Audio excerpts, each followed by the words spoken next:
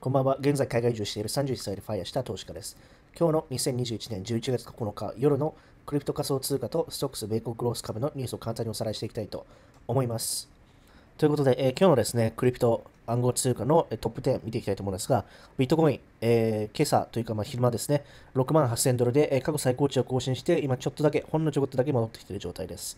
で、イフィーレムもですね、過去最高値更新して、え4万8000ドルぐらいです。で、その次ですね、ここでちょっとですね、カムバックが来て、これですね、カルダノが、えーソラナを抜いて、また4番目の地位をつかみました。ということで、えー今日24時間だけで12%の上昇で、えーマーケットキャップが76ビリオン。で、この勢いですね、ちょっと上がってきましたよね。で、ソラナが、えーまあ、過去最高値あたりで、まあ、停滞していると。246ドル。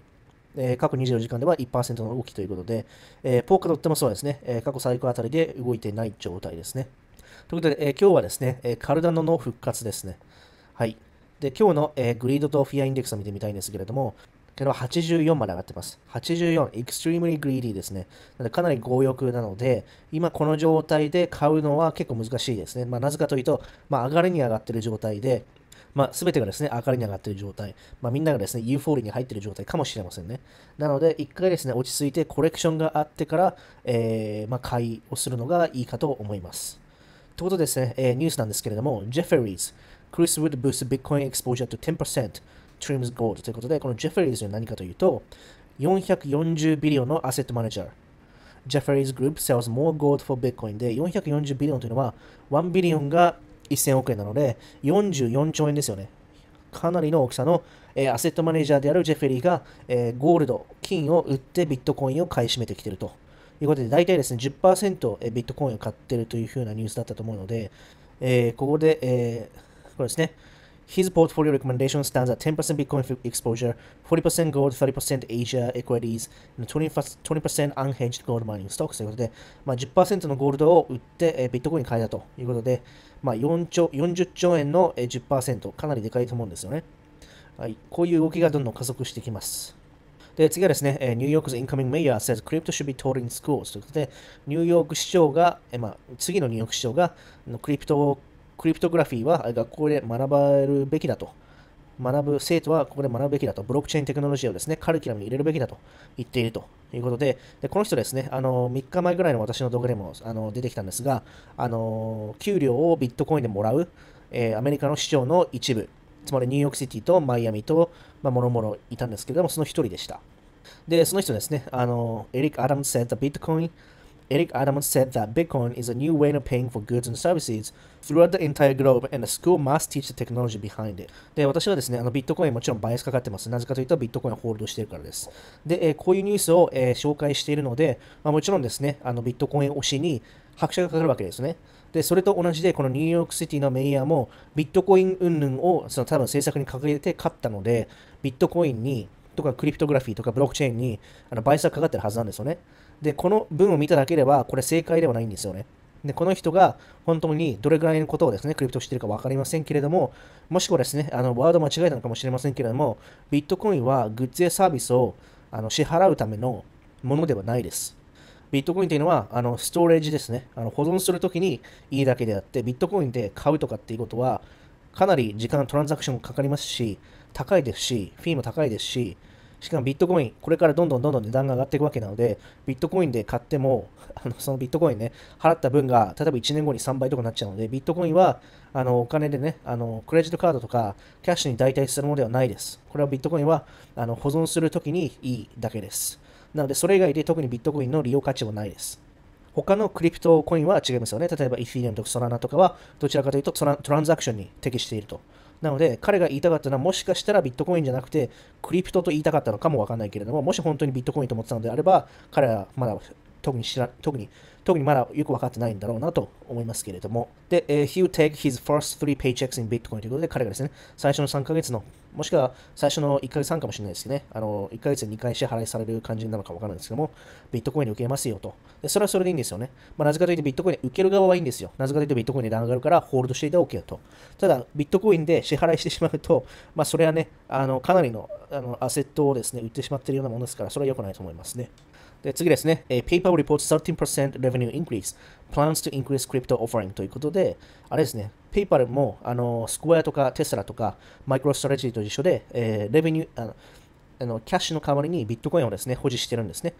In the third quarter of 2021, it emphasizes plans to increase cryptocurrency offering Monday ということで、これですね、えー、 public company that own Bitcoin。これ前の動画でも言ったと思うんですが、マイクロストラテジーから始まって、スクエアに始まって、まあ、下の方にペイパルがあるはずなんですね。まあ、このリストに入ってないのかもしれないですけれども、ペイパルも、えー、保持してます、ビットコイン。で、それが跳ね上がって、まあ、レベニューが増えたということです。次は、えー、Zimbabwe may be the next country to embrace Bitcoin as a legal tender ということで、ジンバブエっていうのはあのインフレーションでなんか3万パーセントぐらい毎年インフレーションがしてる国だと思うんですよね、アフリカで。だから、あのベネズエラみたいな感じですよね。例えばミルク買うのに1万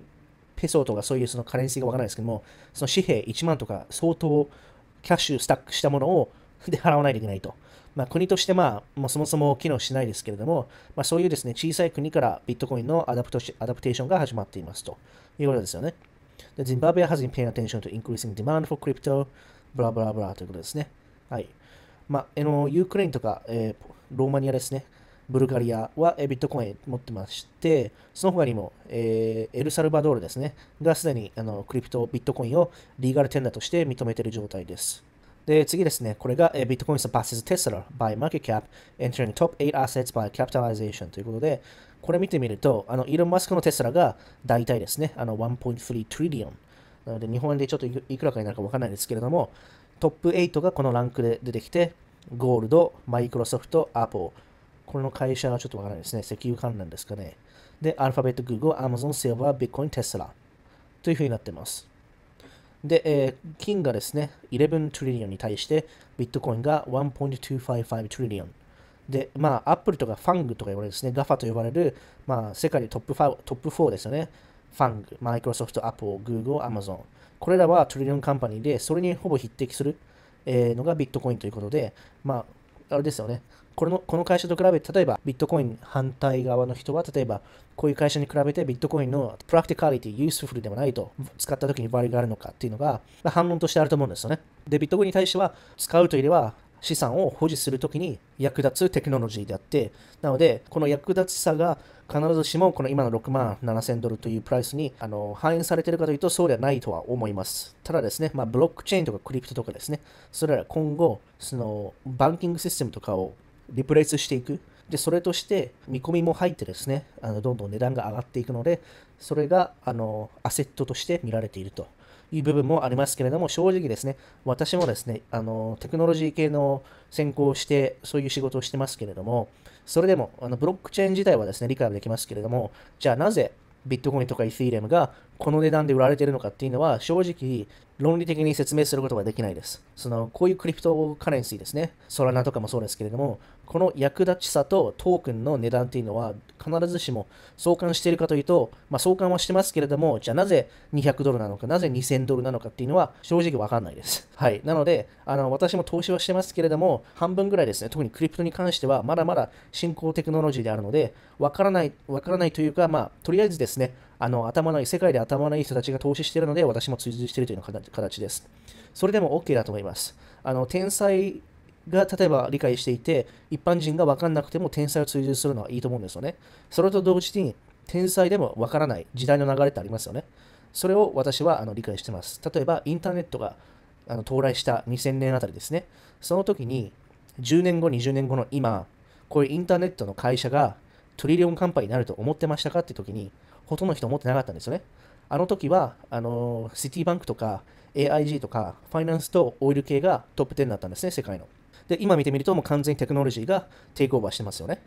なぜインターネットがそれほどの10 trillion ぐらいですよね、10 trillion ぐらい、あの、 representation、market cap ありますけれども、どうやって説明したら10 trillion になるのか、2000年の時に理解できましたか理解できないですよね。それと一緒です。2008年ぐらいに、えー、iPod とか iPhone 出ましたよね。iPad もそうですけども、iPad とかのその重要性というのが、ほとんどの人は時代、まだついていってなかったのかもしれないですよね。で、その後に、まあ、アップルがですね、まあ、莫大な利益を得て、今、2.4 trillion というふうになってますので、時代の動きと必ずしもマッチングしないんですよね、テクノロジーというのは。で、実際問題、iPad とか iPhone とか、あの世界で受け入れられて、アップルの market capitalization が増えていったとで、私はこの crypto というのはインターネットみたいな新しい次の進行テクノロジーとして見てるので、必ずしも全部理解してないし、時代がね、もしくは世界がどのように受けて受け入れて、どのような使い方がシナリオがあるのか、すべてわかんないです。すべてはわかんないけれども、そっちの方向に行くから、とりあえずやってるというか、ちょっとですね、まあ、半分イラッショナルという感じで、非合理的な部分でもありますけれども、流されながらやってます。それでも OK だと思います。ということですね、えー、最後ら辺のニュースですけれども、今日、一人勝ちのカルダノですね、見てください。1回ですね、過去最高値の3ドルを記録したんですよね。3ドルを記録してから、まあ、急降下をしてからの、えー、下降トライアングルですね。ディーセンディングトライアングルを、えー、形成してました、この青いやつですね。で、それをトライアングルと見れるか、もしくはこのようにですね、三角形がこういう感じであるというふうにも見れますけれども、まあ、どちらにしてもこれですね、サポートがあると。2ドルでサポートがあって、で、これがですね、サポートとも見れますよね。はい。だ上の三角形で見た場合には、ディセンディングトライアルで、トライアングルで、ここはぶち抜けたんですね。その場合に、この三角形のこの高さ分ですね、例えばここからこの分は上がる可能性があるので、ここからぶち抜いて2.5ドルぐらいまではいきそうな感じですね。ということですね、あの体の4番目に今、返り咲いてますけれども、まあ、どちらにしても、えー、イフィーレム、カルダノソラーナ、ポーカだと、これらはですね、投資しておいていいのではないかなと思います。えー、そして最後ですね、はい、えー、Mastercard is launching Bitcoin-backed cards across Asia Pacific region after announcing free partnership today ということで、Visa、Mastercard、これらのカンパニーもですね、ビットコイン保持してますよ。で、このうちのマスターカードがですね、ビットコインバックトカードということで、おそらくビットコインとの、例えばウォレットと連携するのかわからないですけども、まあ、どちらにしてもクリプトを使って、例えばカードを使ってあの支払いができるという感じなので、こういう感じでも、このマスターカード、ビザぐらいのレベルの adop adoption が来るので、まあ、これ以上ですね、あの戻りはできないので、まあ、そういうところです。それがこれです。8番目の asset class、capitalization level で言うと。なので、まあ、これからどんどん大きくなりますよと。で、キャッシュではなくて、ゴールドではなくて、ビットコインという感じになってきますので、まあ、皆さんですね、の流れの中に乗っていければといいかと思います。ということで、今日はですね、これで、えー、 crypto 株のですね、ニュースのおさらい終わりにしたいと思います。もしよかったと思えば、えー、 like、share、subscribe お願いします。